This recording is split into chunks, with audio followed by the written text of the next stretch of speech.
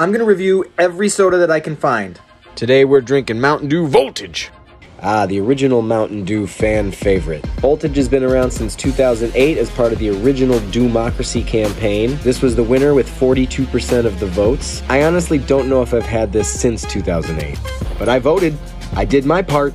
Dew, charged with raspberry citrus flavor and ginseng. I don't know what ginseng is, so let's see how my memories taste. Yeah, that's some blue raspberry flavor right there. Got this purple blue color. Looks like it can't make up its mind. Let's see how it tastes. For a dew named Voltage, kind of flat.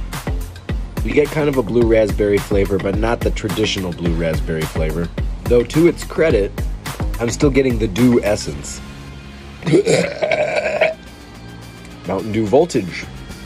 6 out of 10?